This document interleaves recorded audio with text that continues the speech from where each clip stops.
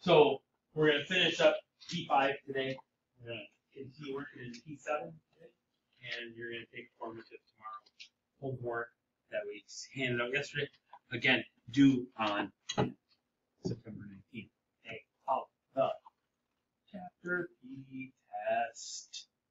Okay, so we're gonna go back and we're gonna do those same problems that we did earlier, but now we're going to do them graphically. So if we're starting in the, on the P5 page, we're at example number one. 4x squared minus 8x plus 3 equals 0. We're going to solve this one now by graph. Okay? Okay? So every time that you get the graphing calculators, okay? Now this is just me. I do this, but again, I'm a different breed of cat. I'm a little bit on the cuckoo side. I understand that. Okay? I don't trust anything that anybody's done on the calculator before me because it wasn't me. Okay? They may not know what they're doing. So don't trust anything that's on that calculator before you. So in order to do that, what we're going to do is we're going to turn on our calculators. And when we turn on our calculators, we're going to double tap the on button. Okay? So we double tap the on button and we should get a screen that looks similar to this. Yes? Okay? Now, what we're going to do is we are not scratch pad people. Nothing good comes in the scratch pad because nothing ever, just don't use it. Use document. You're going to want to start a new document. Now, some of you might get a, a message that says, do you want to save what is on there before? No, you don't need to save what's on there before. Okay? You just want to start a new document that puts you at a page that looks like this now. Okay? From this, because we're solving with graphing, we are going to then say add graph. Now I got two different ways to do this. I could use the keypad up here and I could go down one and then hit enter and go, it takes me to add graph. Or if I want to be the shortcut way, I could just simply press the number two and it will take me to a graph. Okay? So it doesn't matter which one, but you want to add a graph. Okay? Now, what we're going to do is we're going to graph this function that we just solved for yesterday. Okay? And so that function again was 4x squared minus 8x, right? Yes, minus 8x? Okay, now here's a kicker. This is the minus, the subtraction function. This is the negative key. They are different. They do not mean the same thing. So if you want to go minus 8x, you need to use the minus key, minus 8x, and then was it plus 3? No. Yes? Yes. Okay, plus 3. Then when you hit enter, the graph should appear.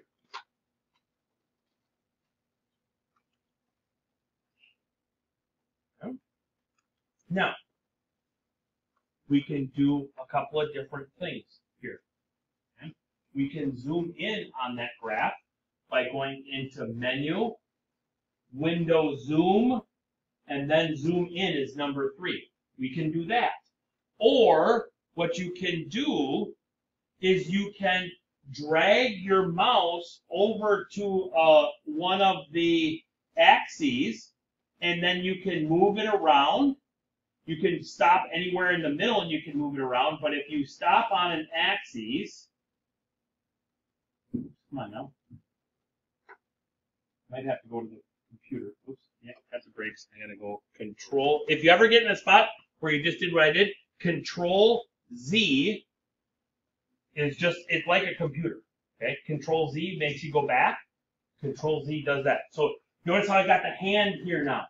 Okay. If I take that hand and I grab onto Oh, that's, that's not doing it for me.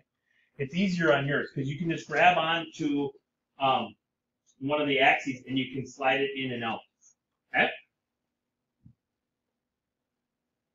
But what we want to find, we want to know where this is equal to zero. So because we've got a function, we've got two options here now.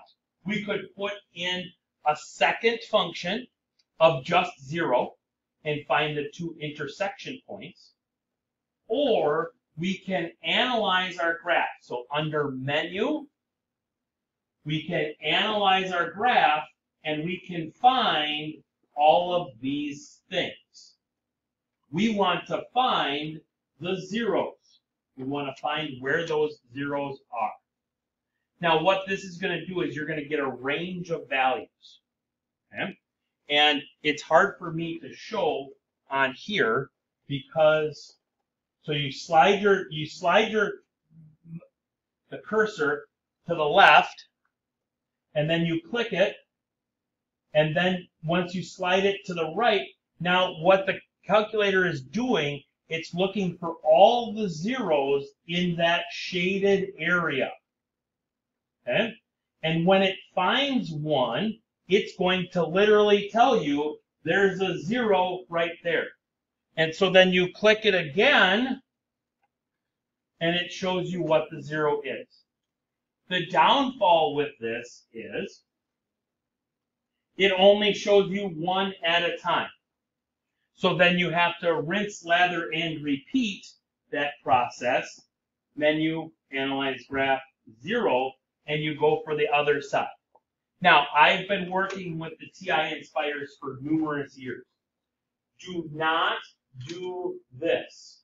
Do not try and get that cursor as close to that zero as you possibly can. Does you no good. Okay? It's going to tell you the zero in that range, whether or not you select the entire graph or not. Okay? You don't need to narrow in on that on that zero. Let the calculator do the work for you. Don't try and get it right as tight as you can because you might miss it. Okay? So let the calculator do the work for you.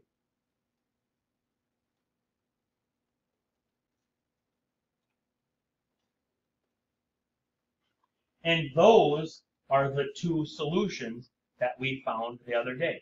One half and three halves.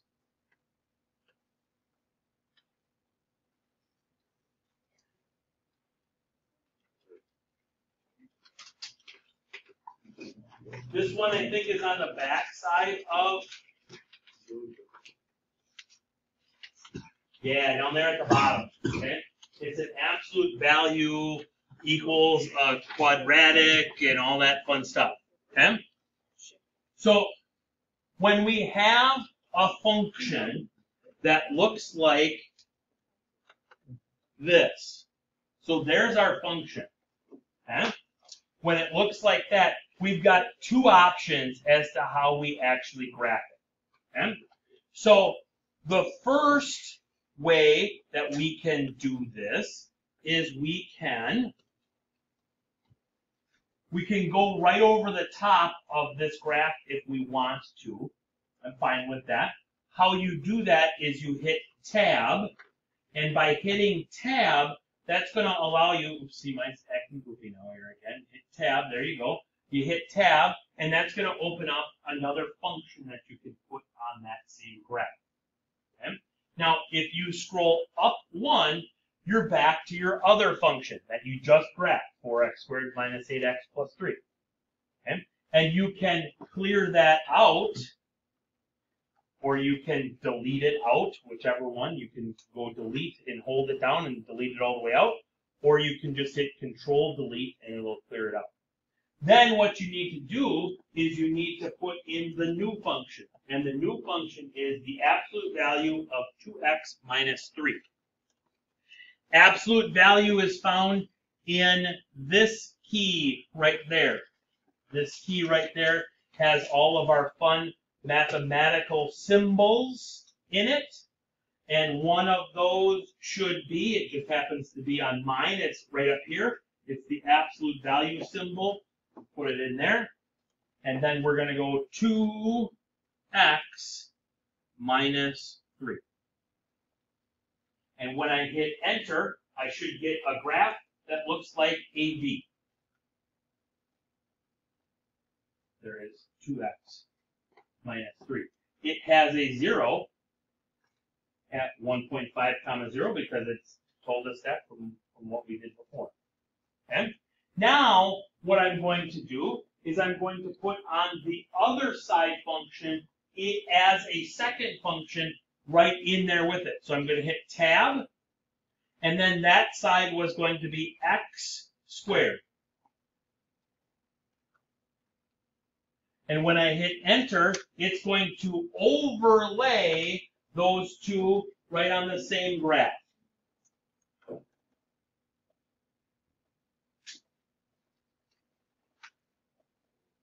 Now, what we need to look for is we need to look for where those two functions are equal.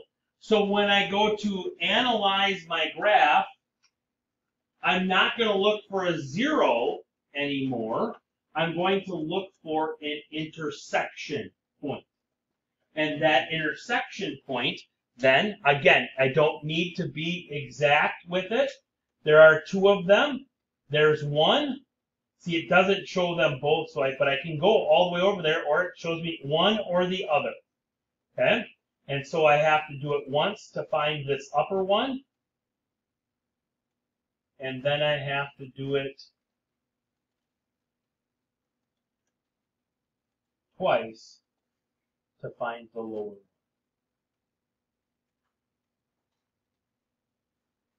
So the intersections the solutions, if you will. Let me actually give me a pause here.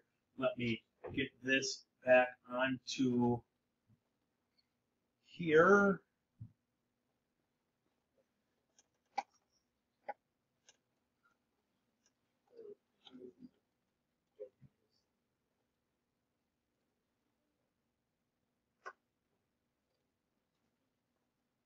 So the intersections are actually at x equals negative 3 and x equals 1. Okay? Actually, like the points of intersection are at negative 3 comma 9 and 1 comma 1.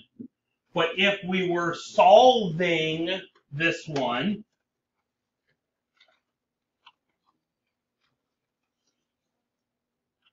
we would say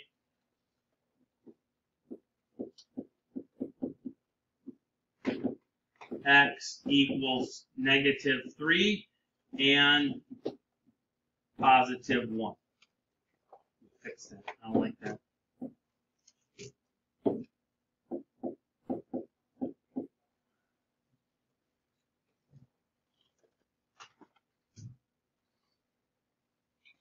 Now, the other way of doing that exact same problem is instead of graphing two functions and finding the intersection point, we can solve this function. We can move everything to one side. We can set it equal, oops, we can set it equal to zero. So we could go here either x squared minus the absolute value of 2x minus 3, or we could go the absolute value of 2x minus 3, then minus x squared. Either one of those, depending on which way you move everything, if you get it 0 equals or equals 0, doesn't matter. And then when you go to the graph for that one, then if I wanted to start a brand new graph, I could go control doc, and I'm going to add a page.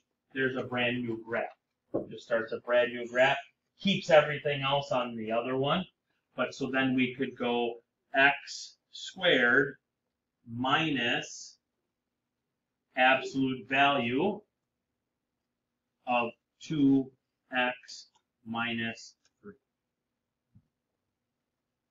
Now here on this particular graph, because I solved it for zero, when I analyze it, I'm going to analyze it for the zeros.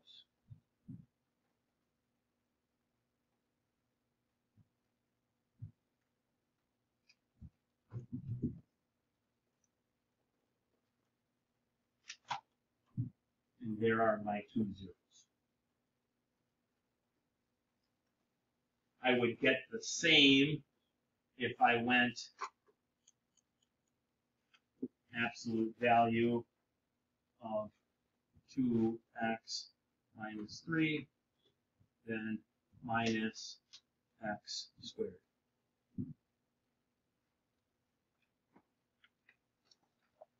Get the same either way. Still gives me zeros of negative 3 and positive 1. Questions, comments, concerns, clarifications?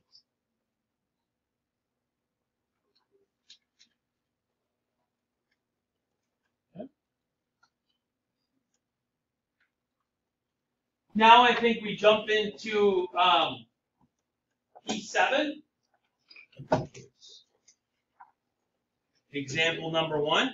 So now here, graphically, what we're going to do, and we've got 2x minus 1 and 5.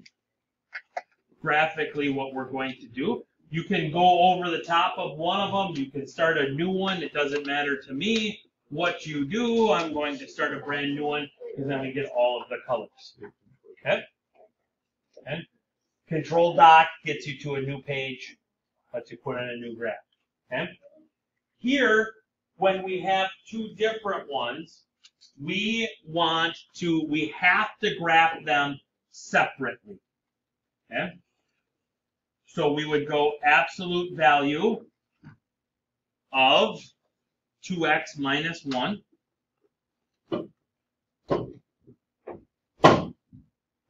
and that's it. Okay?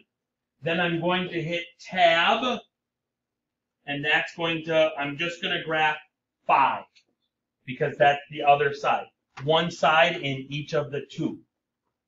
5, enter, boom. There we go. Okay?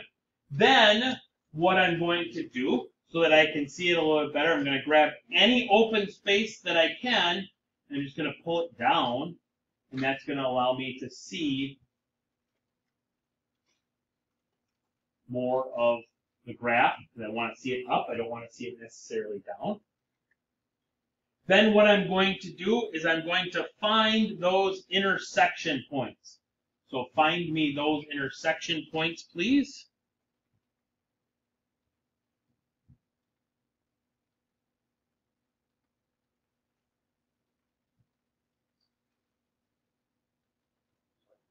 So what you should be looking at is you should be looking at a V in my case, because I just of how many windows I have open, the V part, the absolute value part, is the green part.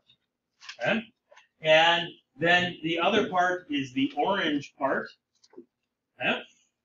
And so what my problem is asking me is it is asking me when is green bigger than orange? Well, green is bigger than orange over here and over here. Right? So the interval notation for that would be negative infinity all the way up to, but not including negative 2. Union then with, not including 3, all the way out to positive infinity. If we would have been looking for less than, then we would have been doing all of the green parts underneath the orange line. With me?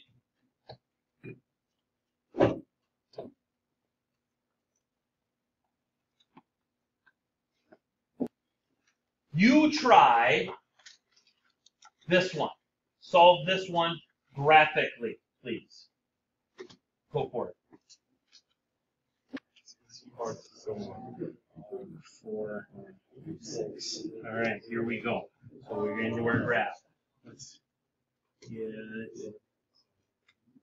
right on this one. Yeah, yeah. So let me show you a little shortcut too. So like we just did a problem very similar to this one.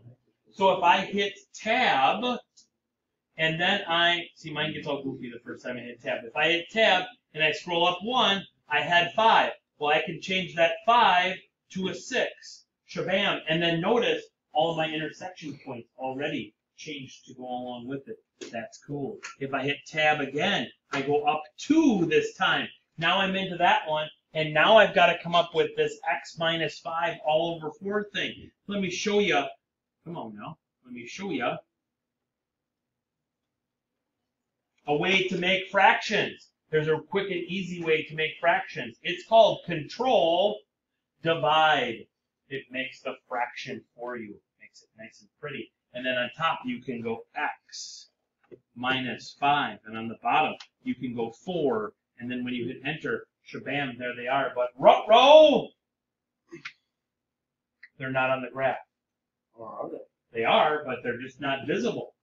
So what we can do is we can do one of two things. We could grab in an open area and we could slide all the way out until we actually finally find one and then find it. Or what we can do is we can grab onto one of the axes and scroll it down a little bit. We have to click and hold on it and then we can scroll it down and it'll shrink the, it'll bring the, bring it in. Or the other thing that we can do is we can go in and we can adjust our window settings. We need to be out farther on the X's. So let's say we need to go out to negative 25 and we need to go out to positive 25. And when we do that, okay, well, I get the negative 25 works, but I still need to go farther out. Well, let's go back in, back into window settings. This one needs to go out to, let's say, 35. There it is. Boom, we found it. Now we can do that. Again, multiple different ways of, of doing menu. Analyze graph, intersection. There it is. Menu, analyze graph, intersection. There it is.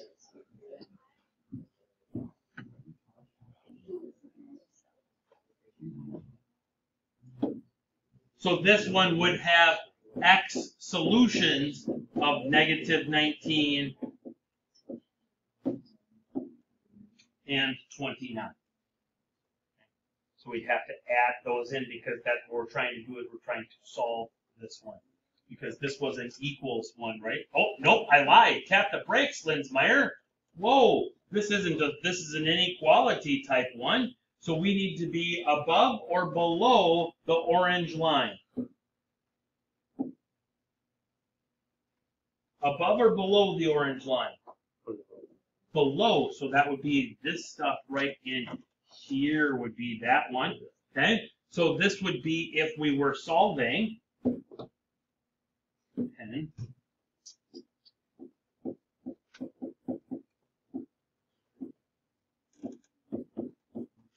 But because we are the inequality,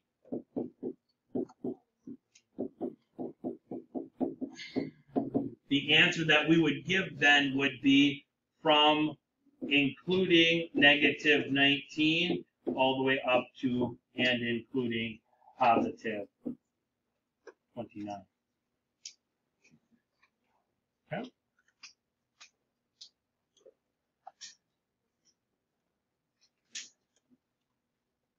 Try this one, please.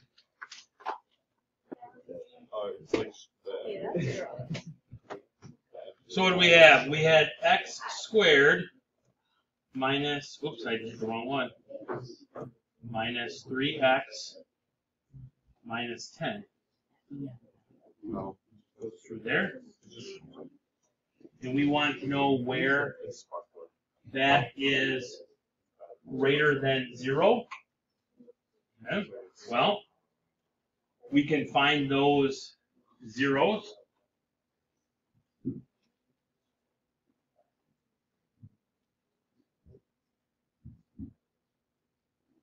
By analyzing our graph, finding those zeros.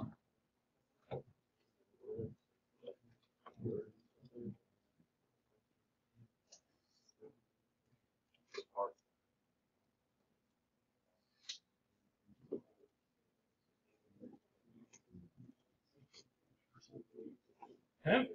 We want it to be, whoa, went too far. We want it to be greater than zero. That means we want above. So the above would be from negative infinity all the way out to negative two, not included, union with five, all the way up to. Would be our. Yes? Now, because I like you guys, I'm going to let you in on a little secret. There is a graphing calculator problem tomorrow. So you will need to know how to do that for tomorrow. Six. What do you mean? It's on everything that we've learned so far. Is there what? Yes, because it's formative. Because it's formative. Formative, correctable.